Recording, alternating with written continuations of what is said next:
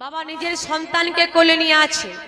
ভেবেছে কোলে রয়েছে আমার বৃন্দাবনের কৃষ্ণ গোপাল তো মা গো, ভগবান থেকে হাসছে। বলছে, বাহ বাহ গোরা কুমোর, বাহ।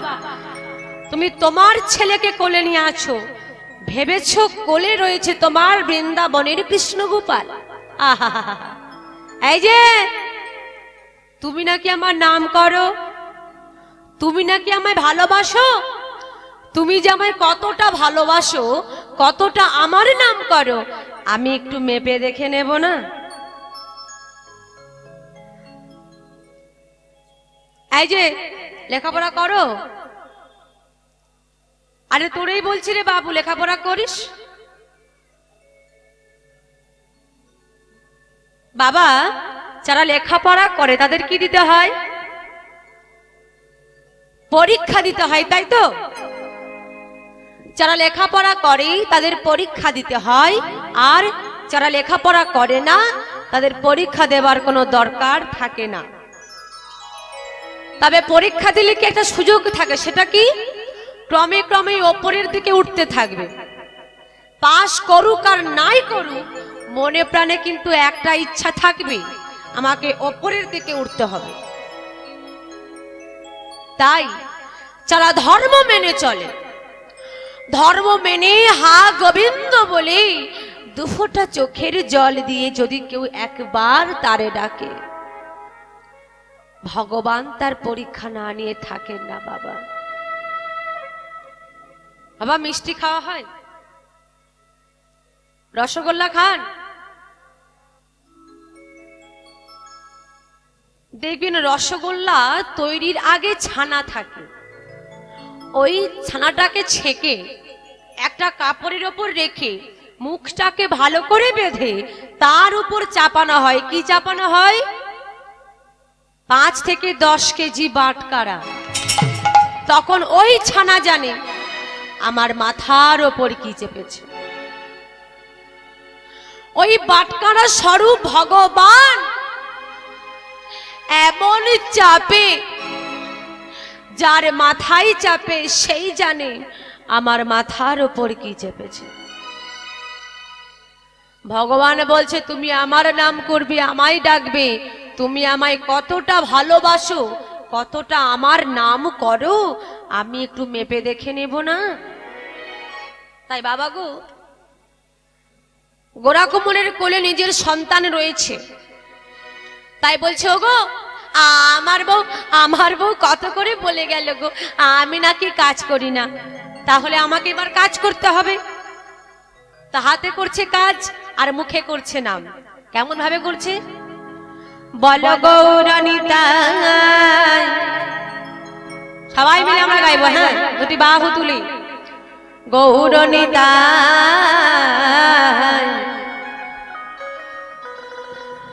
গৌরণিতায় গৌরণিতাই বল গৌরণিতাই হরিবল হরিবল গৌরনিতাই গৌরনিতাই বলো। গৌরনিতাই বল গৌরণিতাই গৌরণিতাই গৌরণিতাই বল গৌরণিতাই বলো গৌরনিতাই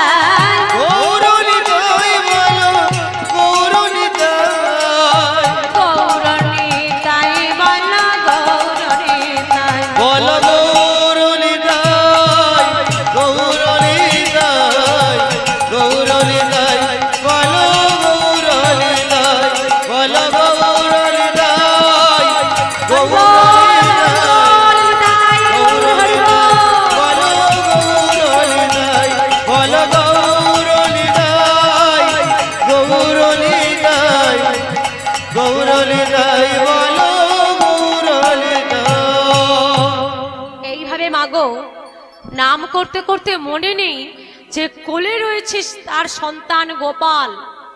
ভেবেছে কোলে রয়েছে আমার কাদার তাল। কুমোরেরা যেমন ভাবে হাড়ি কলসি তৈরি করবার জন্য কাদা তৈরি করে, ওই এক বৎসরের সন্তান গোপালকে কাদা মনে করে মন্থন করে ফেলেছে।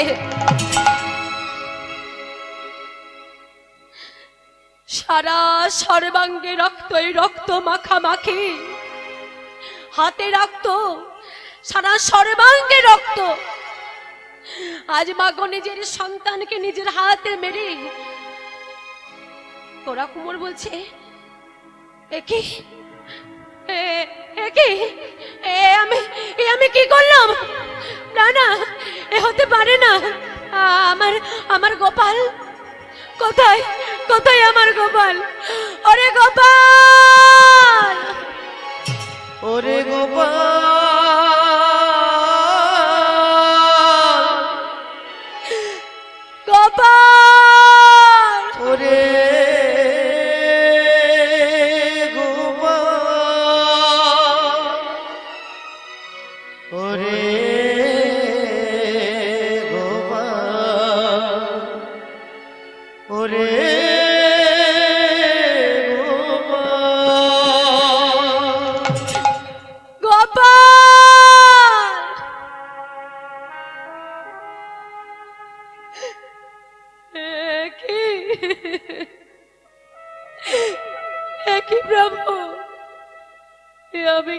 করলাম দয়াময়।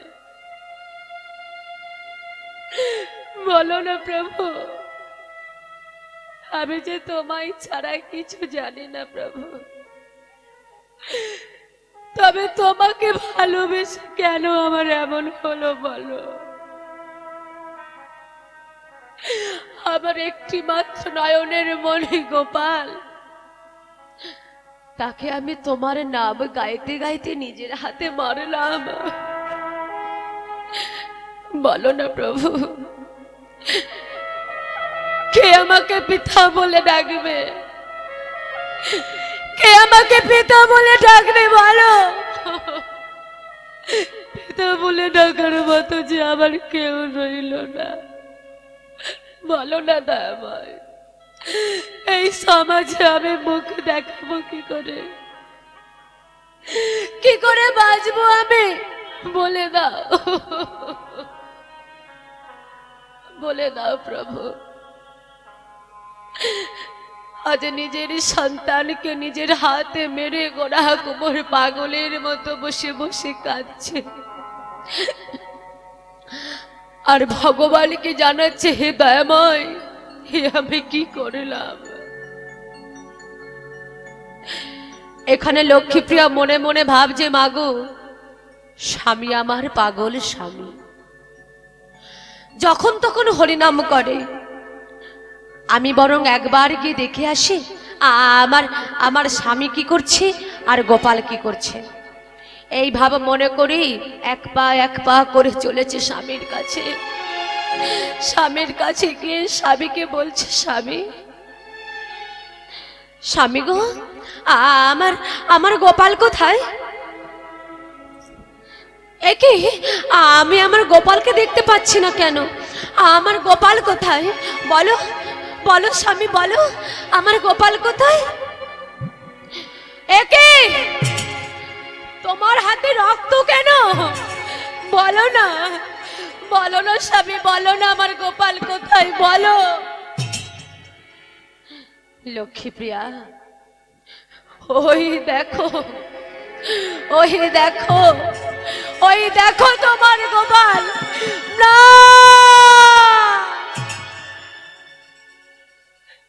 স্বামী, না। এ হতে পারে না। এ হতে পারে না, স্বামী। কি তুমি কি করেছ? স্বামীজি, তুমি না কৃষ্ণ ভক্ত। তুমি না হরি ভক্ত। হরি নামে গাইতে গাইতে আজ তুমি নিজের ছেলেকে নিজের হাতে মারলে। আমার দশটা নয়, পাঁচটা নয়, একটি মাত্র সন্তান। একটি মাত্র নয়নের মনে আমার।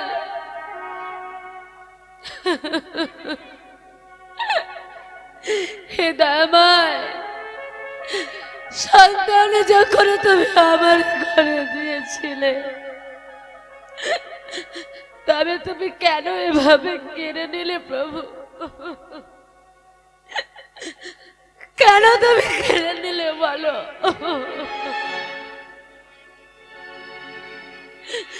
কি নিয়ে বাঁচবো আমি? বলে দাও, তুমি বলে দাও। যদি তুমি ভগবান।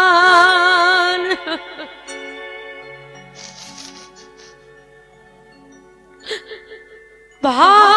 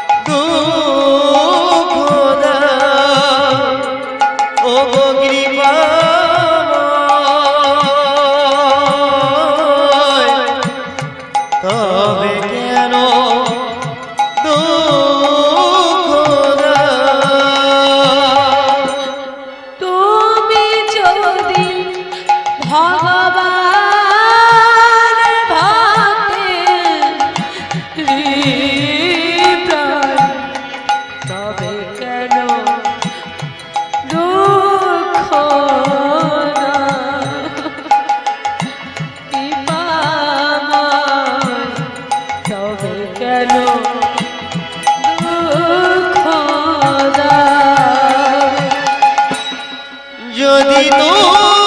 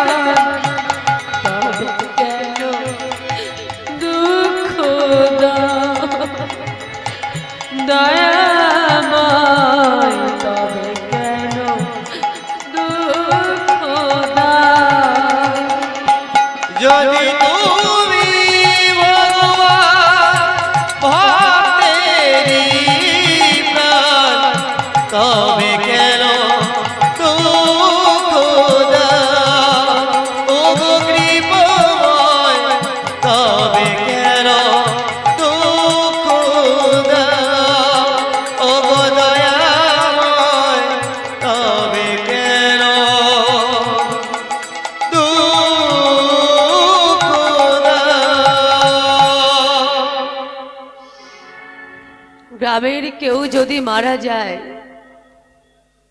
তাকে দেখার জন্য মাগো যেমন ভাবে পাড়া প্রতিবেশীরা। আত্মীয় স্বজন, বন্ধু বান্ধব সবাই দেখতে ছুটে ছুটে আসে। আজ ওরা কুমোরের সন্তানকে দেখার জন্য। সবাই ছুটে ছুটে আসছে গোড়া কুমোরের বাড়িতে। আজ গোড়া কুমোরের বাড়িতে কত লোকের ভিড় পড়েছে বাবা। সেইখান থেকে একজন বলে- বলে উঠল বলে, এই যে ঘোড়া কুমোর তুমি না কৃষ্ণ ভক্ত? তুমি না হরি ভক্ত তুমি কৃষ্ণ ভক্ত হয়ে আজ নিজের সন্তানকে নিজের হাতে মারলে? ছি ছি ছি ছি ছি ছি ছি। ছি! তোমার লজ্জা করে না? শোনো, সন্তান হত্যার অপরাধে তোমাকে আমরা এই গ্রাম থেকে তাড়িয়ে দেব। সঙ্গে সঙ্গে সেইখান থেকে একজন বলে উঠল, বলি, ও তিন করিদা এই যে, বলে কি গাছ কেটে ফেলে কি গাছ মারা যায়? কি বাবা, কি বলে? গাছ কেটে ফেলে কি গাছ মারা যায়? এমন কিছু কিছু গাছ আছে, কেটে দিলেও বাবা আবার গজায়। কি কি গাছ? কি কি গাছ গো বাবা?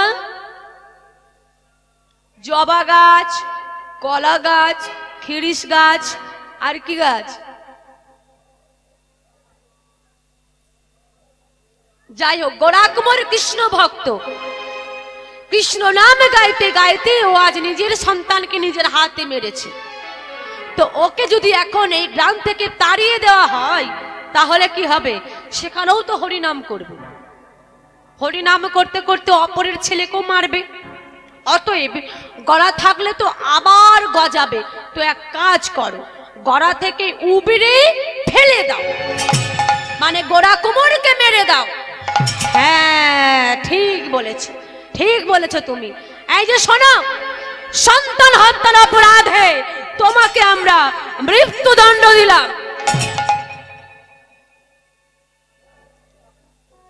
কি বললে তোমরা? তোমরা আমাকে মৃত্যুদণ্ড দিলে। ঠিকই তো বলেছ। আমার তো মৃত্যুদণ্ড পাবারই কথা গো। কারণ আমি আমার সন্তানকে নিজের হাতে মেরেছি।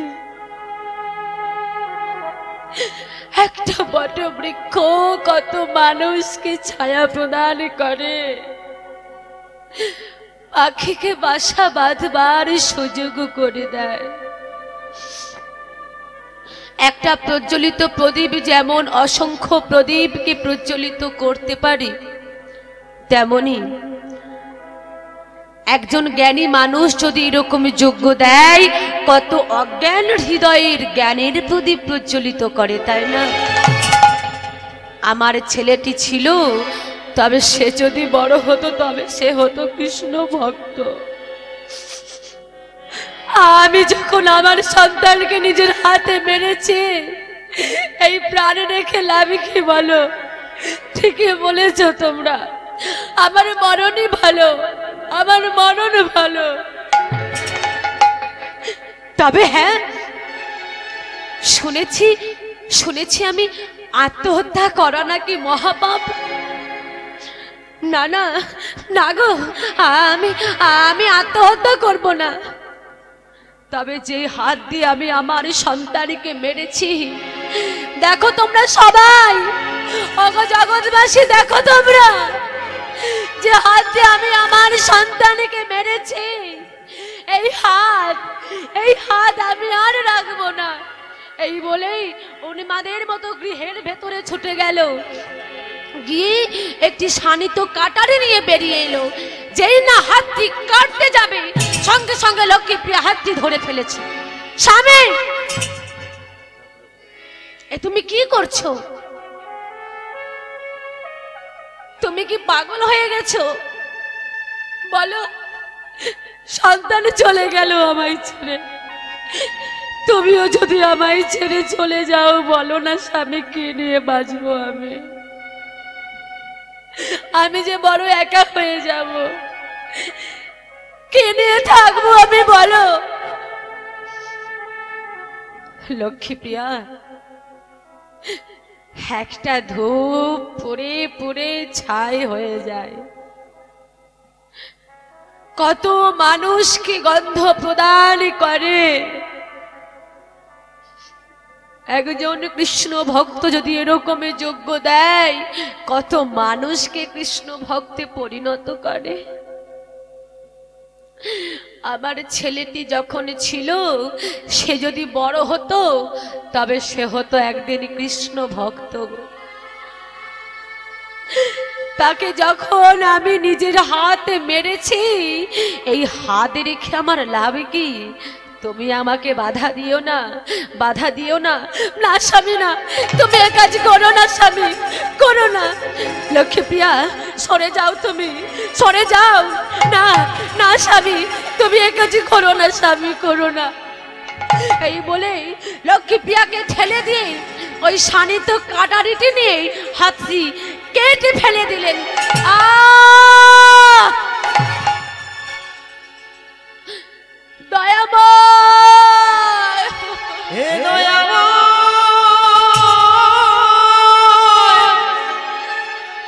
ওগো কৃপাময়।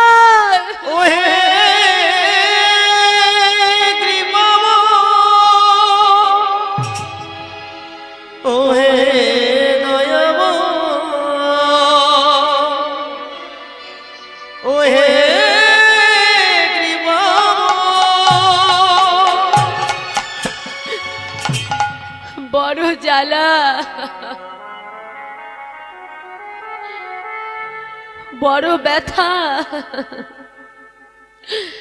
গোড়া কুমোরকে দেখে কত মানুষ কাঁদছে মা।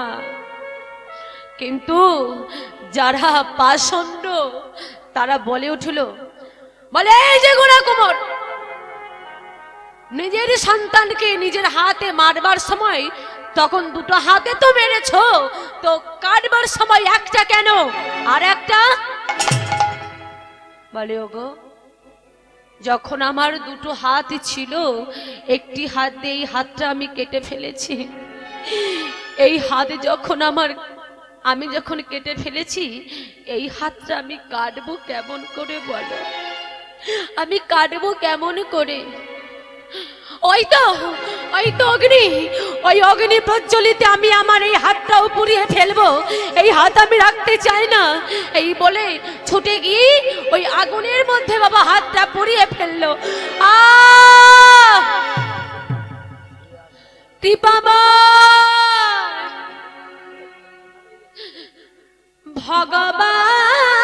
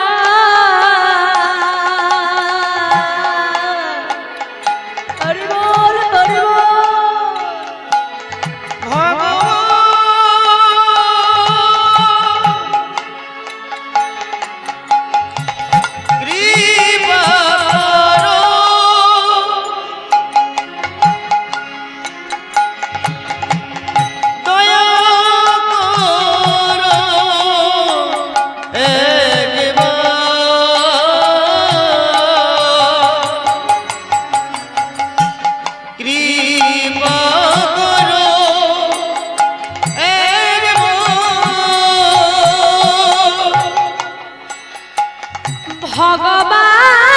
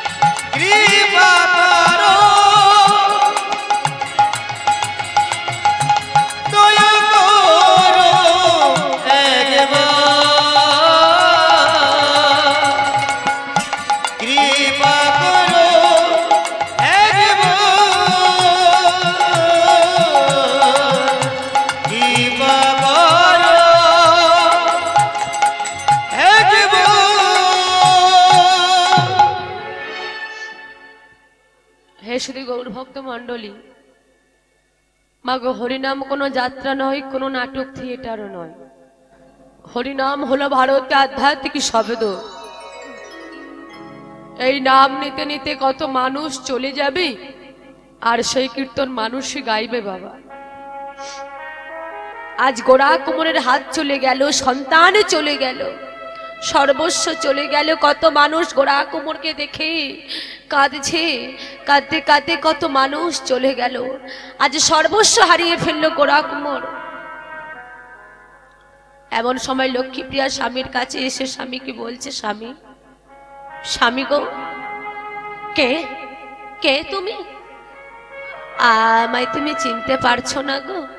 আমি যে তোমার পত্নী গো। ও লক্ষ্মীপ্রিয়া, তুমি এসেছ? সবাই তো আমায় ছেড়ে চলে গেল গো।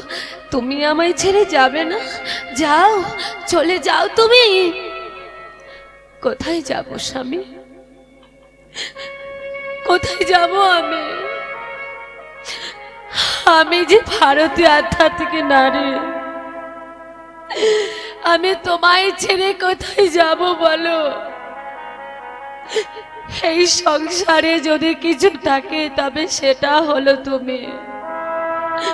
তুমি আমার জীবন, তুমি আমার মন, প্রাণ, হৃদয়।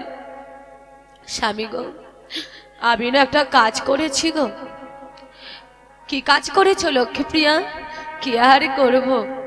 যখন তোমার হাতে ছিল, তখন তুমি তো কাজ করলে না। আজ তোমার দুটো হাতই নেই। তো দু বছর আগে তুমি যে এই শাড়িটা আমাকে দিয়েছিলে, মনে আছে তোমার? হ্যাঁ মনে আছে। দেখো, এই শাড়িটা আমি কিছুটা অংশ ছিঁড়ে একটা ঝুলি তৈরি করেছি। এ, লক্ষ্মীপ্রিয়া, ঝুলি কেন গো? কি হবে কি তা দিয়ে? কি আর হবে? বাঁচতে গেলে তো কিছু খেতে হবে গো। যদি তুমি আমাকে অনুমতি দাও, স্বামী, আমি ভিক্ষায় যাই। লক্ষ্মীপ্রিয়া তুমি ভিক্ষায় যাবে? আমি বলছি, আজ তুমি যেও না। যাব না। কবে যাব? সেই দিনই যেও, যেই দিন আমি মারা যাব। না না, স্বামী, না, তুমি এভাবে বলো না। কেন বলব না? সেই দিন সত্য অঙ্গীকার করেছিলাম বিবাহের দিন। আজ থেকে তোমার সমস্ত ভরণ পোষণের দায়িত্ব আমার। তো আমি তো এখনও বেঁচে আছি, মরে তো যাইনি। দাও দাও দাও। ওই ভিক্ষার ঝুলিটা তুমি আমার হাতে গলিয়ে দাও, আমি ভিক্ষায় যাব। লক্ষ্মীপ্রিয়া কি করল? স্বামীর হাতে ভিক্ষার ঝুলিটা গলিয়ে দিল। এইবার গোড়া কোমর, সেই ভিক্ষার ঝুলি নিয়ে নগরবাসীর দাঁড়ে দাঁড়ে ভিক্ষা করতে লাগল। তো এখন কেউ হরিবাসরে উঠে আসবেন না। সবাইকে আমার একটাই অনুরোধ, যা কিছু দেবা লীলার শেষে দেবেন, এখন কেউ আসবেন না। তো গোড়া কুমোর সবার দাঁড়ে দাঁড়ে গিয়ে কি বলছে? আমায় ভিক্ষা দাও ওগো নগরবাসী ধরি সবার পায়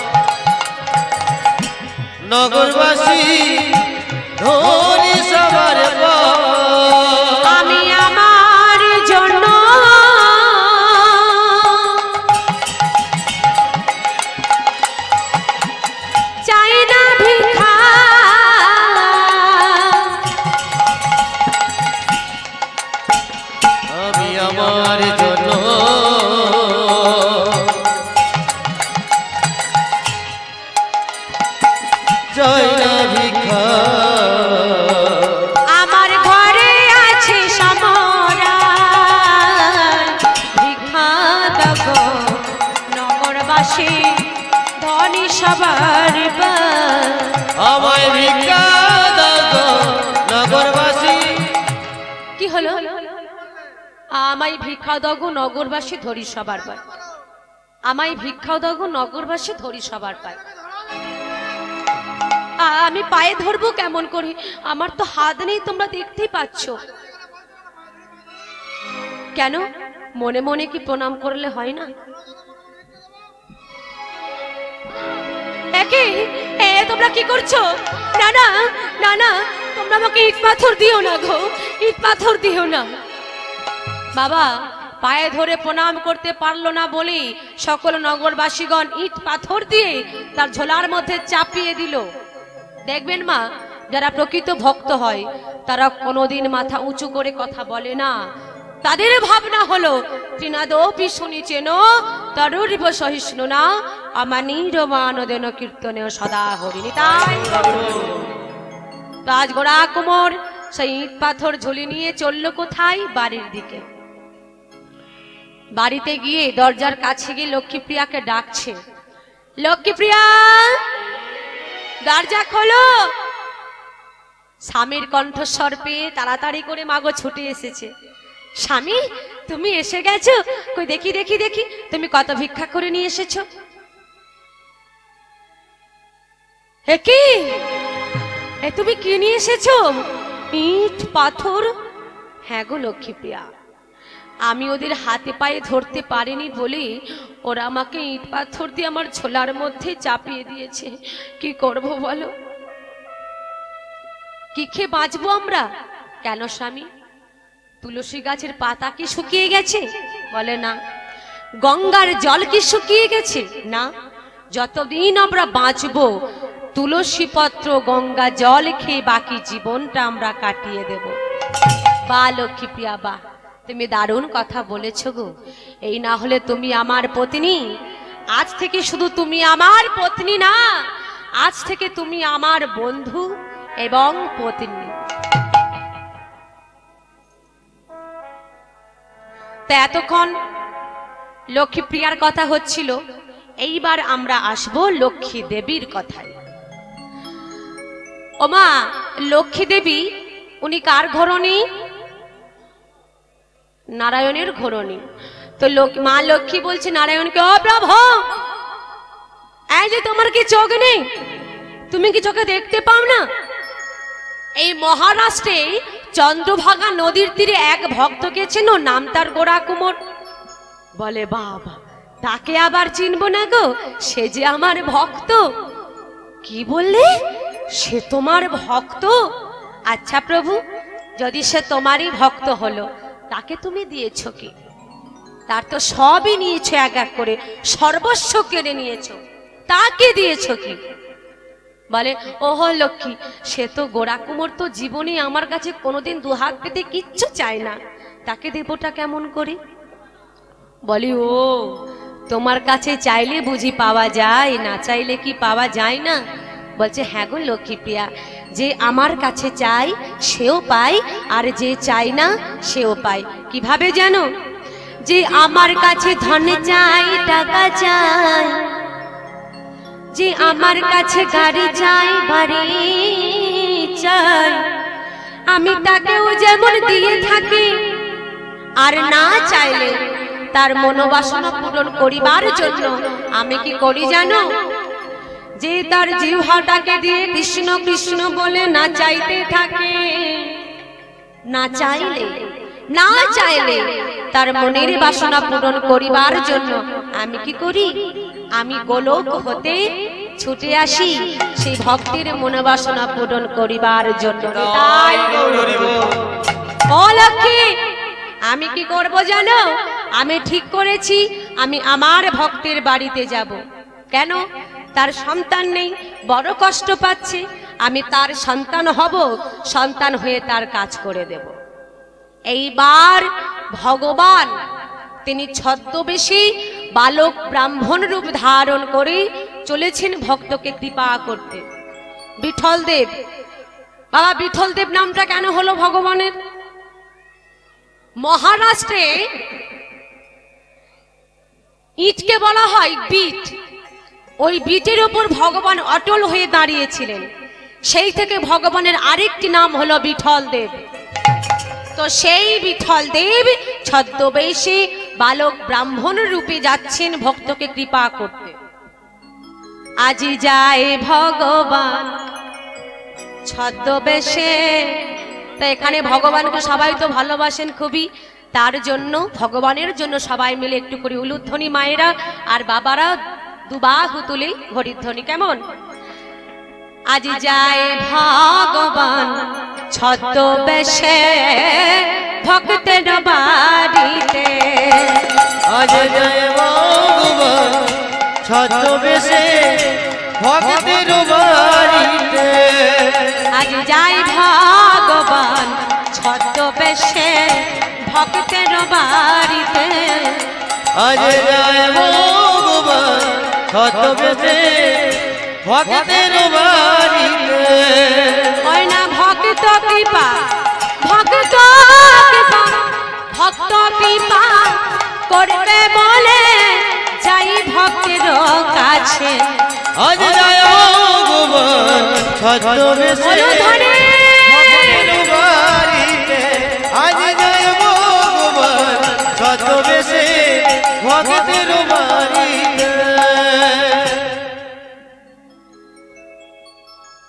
আচ্ছা এখানের মালিক কে আছে? ওনার সঙ্গে আমার কিছু দরকার আছে, ডেকে দিন তো গিয়ে একটু। এখানে মালিক কে আছে গো? ভগবান পৌঁছে গেছে ভক্তের বাড়িতে। আমি এখানের কথা বলছি না। উনি তো এখানের মালিক, কিন্তু যিনি আমাদের সবার মালিক, একজন আছে। তিনি কে? ভগবান। সেই ভগবান বাবা পৌঁছে গেছে ভক্তের বাড়িতে। তো লক্ষ্মীপ্রিয়া দ্বার দেশে বসেছিল, আর গোড়া কুমোর, সে তো ভক্ত, সদাই তার মুখে কৃষ্ণ নাম। বিঠল দেবের মন্দিরে বসে বসে ভজন সাধন করছিল। তো লক্ষ্মীপ্রিয়াকে দেখতে পেয়ে এখন ভগবানে বলছে, এই বাড়ির মালিক কে আছে? লক্ষ্মীপ্রিয়া মনে মনে ভাবছে মাগো যে দুবেলা দুমুঠো খেতে পায় না, সে আবার মালিক হলো কবে থেকে হ্যাঁ? তো যাই হোক, বলছে যখন, একবার গিয়ে ডেকেই দি স্বামীকে। তোর স্বামী কি করছে? বিঠল দেবের মন্দিরে বসে বসে ভজন সাধন করছে, কেমন ভাবে? নবদূর বাদল ঘনশ্যাম ঘনশ্যাম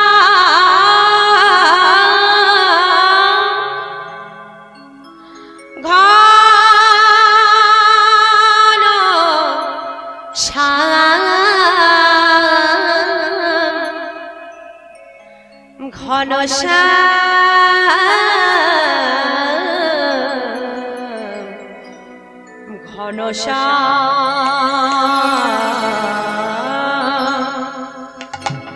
নব দুর্বাদল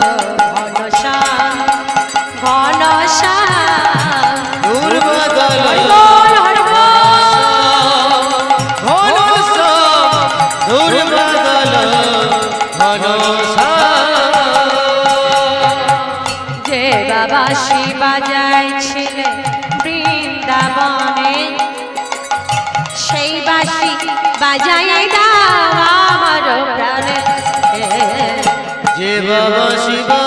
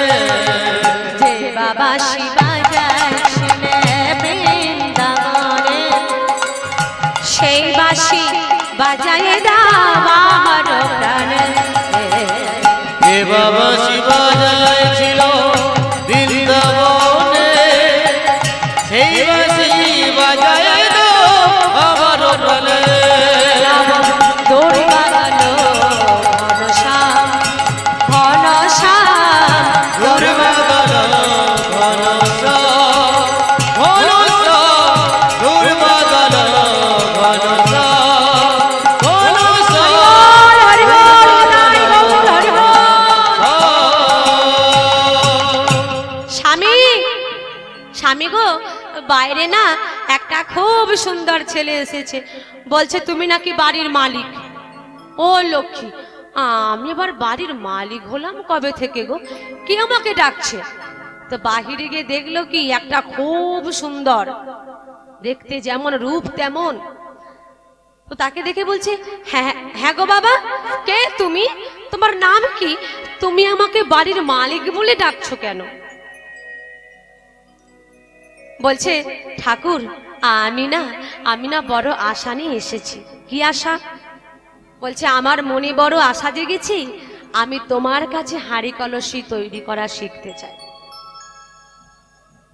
না না, তোমায় দেখে তো মনে হচ্ছে তুমি ব্রাহ্মণের ছেলে। তোমার নাম কি? বলছে আমার নাম আমার নাম?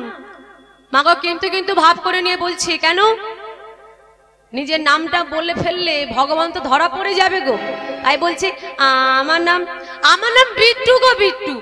ও, তোমার নাম বিট্টু? আর আমার মন্দিরে যে বসে রয়েছে, সে কে যেন আমার? সে হলো আমার বিঠল দেব।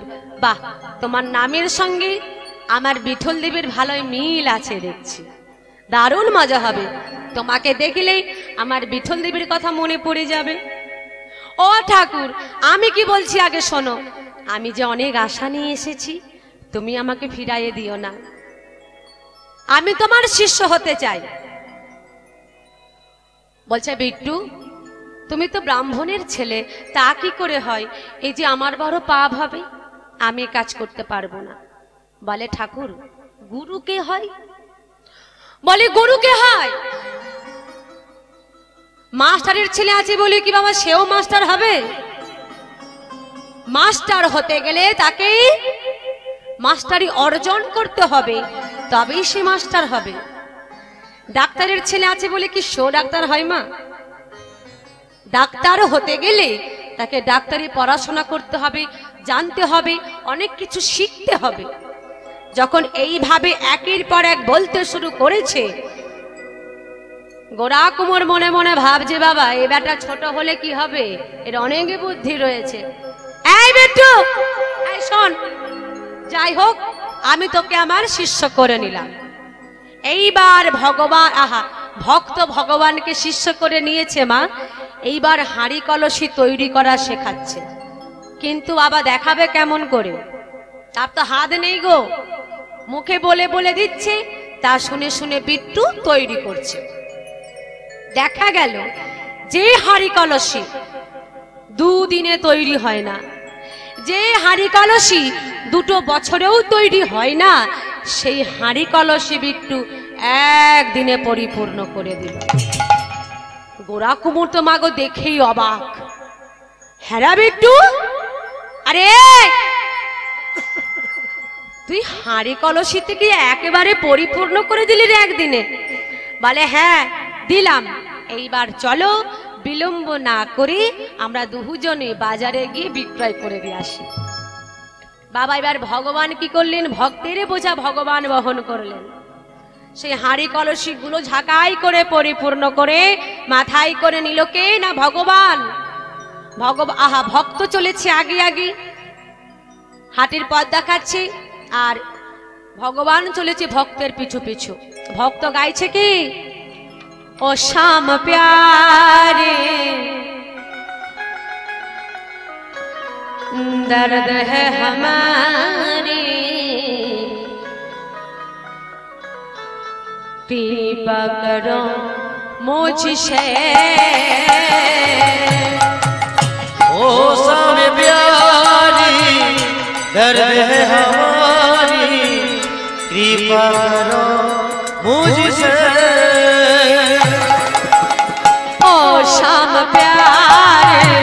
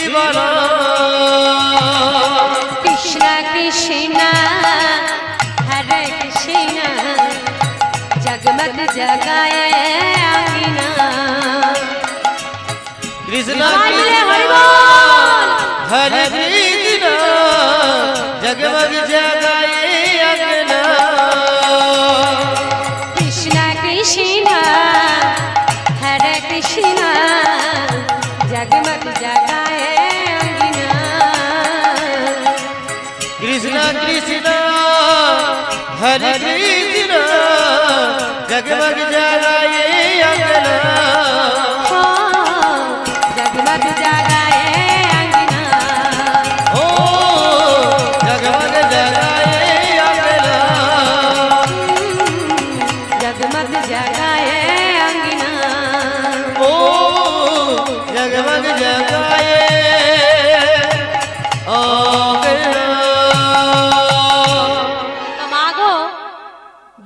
পৌঁছে গেল।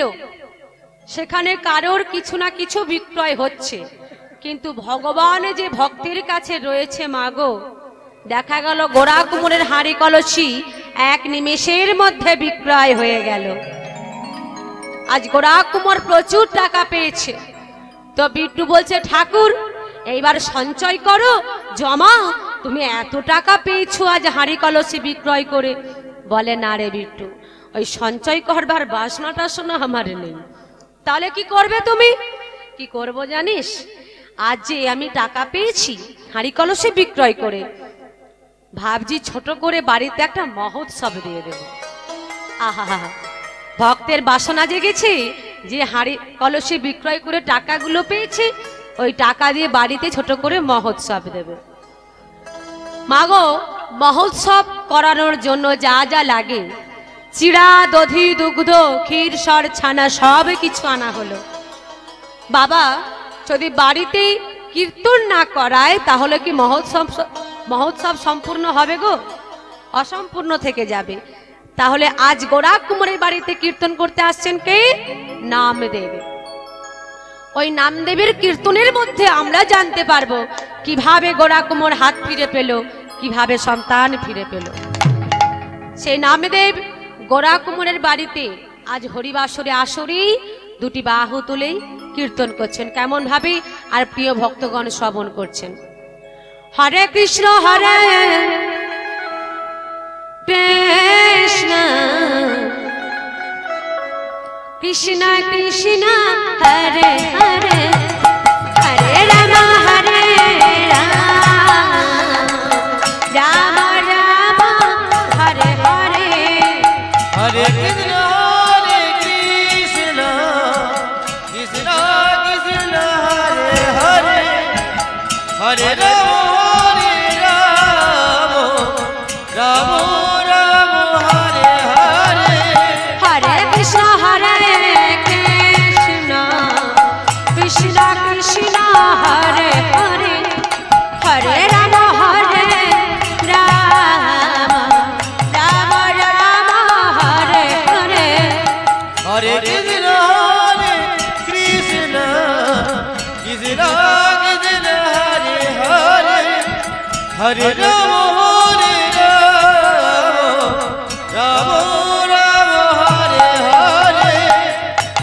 হরে কৃষ্ণ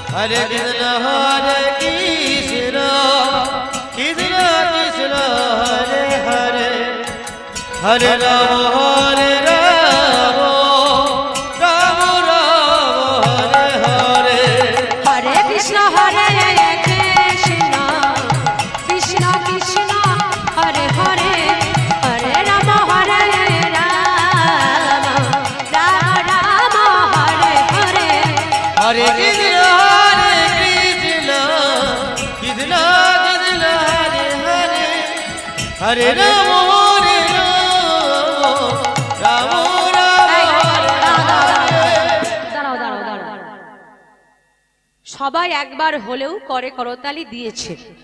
কিন্তু আজ যার বাড়িতে কীর্তন হচ্ছে, তিনি কোথায়? শুনতে পেয়ে গোড়া কোমর ছুটে এসেছে হরিবাসরে।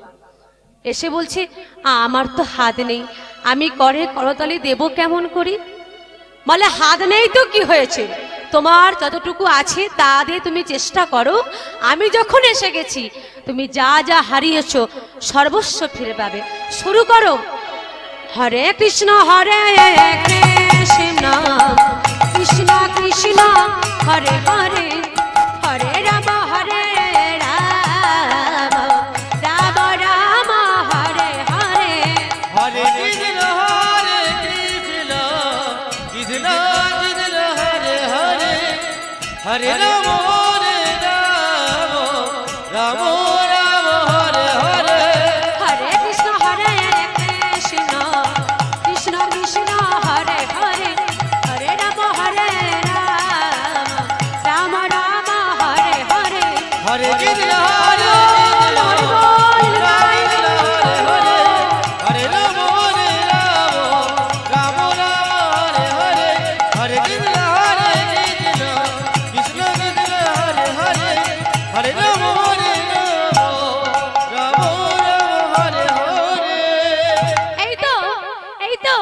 দেখো গো দেখো তোমরা সবাই দেখো।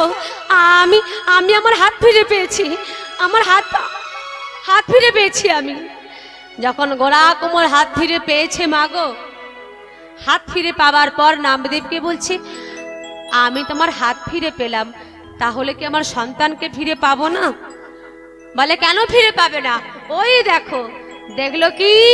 হরিবাসরের মাঝখানে দাঁড়িয়ে ঊর্ধ্বে দুটি বাহু তুলে নাচছে। আজ গোপাল কত বড় হয়ে গেছে। তাহলে আমরা সবাই জানতে পারলাম কীভাবে গোরা কুমোর নামের গুণে হাত ফিরে পেল? কীভাবে সন্তান ফিরে পেল? কিন্তু হঠাৎ করে বিট্টুকে আর কোথাও খুঁজে পাওয়া যাচ্ছে না, মা। গোড়া কুমোর চারদিক খুঁজছে, কিন্তু কোথাও আর বিট্টুকে পাচ্ছে না। যখন খুঁজছে, হঠাৎ করে ওপর থেকে দৈববাণী হলো গোড়া কুমোর গোড়া কুমোর কে? কে তুমি? কে তুমি? আমি যে তোমার কাছে বিট্টু রূপে গিয়েছিল, সে আর অন্য কেউ না। সে হলো আমি, তোমার বিঠল দেব। প্রভু প্রভু, তুমি তুমি আমার কাছে বিট্টু রূপে এসেছিলে দয়াময়, তুমি আমার কাছে বিট্টু রূপে এসেছিলে, আর আমি আমি তোমাকে চিনতে পারিনি। ওগো দয়াময়, তোমাকে এত কাছে পেয়েও হারাতে হলো। তোমাকে কাছে পেয়েও তোমায় আমি চিনতে পারলাম না। ওগো প্রভু, কৃপা করে যখন তুমি আমার কাছে এসেছিলে, তুমি কি আর আমায় দেখা দেবে না প্রভু? একবার তুমি আমায় দেখা দাও প্রভু, দেখা দাও। তুমি আমায় দেখতে চাও? আমায় দেখতে গেলে তুমি এই নয়নে আমায় দেখতে পাবে না। তো ভগবান কি করলেন? সেই ভক্তকে দিব্য চক্ষু দান করলেন। আর ভক্ত দেখল কি? তার পাশে অনাদির আদি গোবিন্দ দাঁড়িয়ে রয়েছে। ও বাবা, সামনে ভগবান থাকলে কি ভক্ত ছাড়ে? ছুটে গিয়ে ভগবানকে জড়িয়ে ধরেছে। তো আজও মহারাষ্ট্রে বিঠল দেবের মূর্তি এখনও রয়েছে, আর তার পাশেই গোড়া কুমোরের সমাধি দেওয়া আছে। এখানেই আমাদের ভক্ত আর ভগবানের মধুর মিলন। আসুন, সবাই মিলে ভক্ত ভগবানের মধুর মিলন দর্শন করি। ভক্তবার ভগবানের মিলন হইল।